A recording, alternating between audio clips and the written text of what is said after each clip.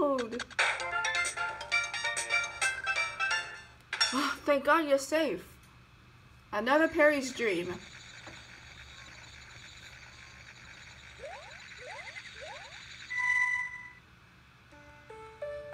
Ugh, mm, smack. The same dream.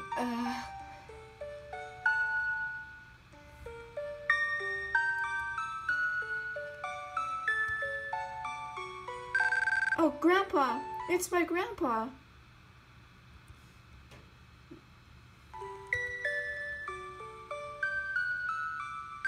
I know it. He'll take me up in the mountains to play.